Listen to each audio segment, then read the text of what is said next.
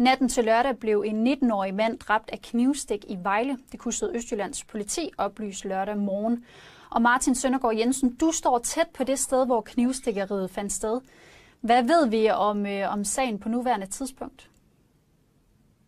Politiet har ikke kunnet sige særlig meget om sagen endnu af hensyn til både efterforskningen og de pårørende. Vi kender hverken den 19-årige mands identitet eller gerningsmandens øh, identitet. Og øh, den 19-årige mand han blev stukket ned med flere knivstik. Vi ved ikke, hvor mange endnu. Det skal der en obduktion til at sige. Det foregik her på Nørre Torv, lige om bag mig, hvor der på Kalkbrænderivej, hvor jeg står på.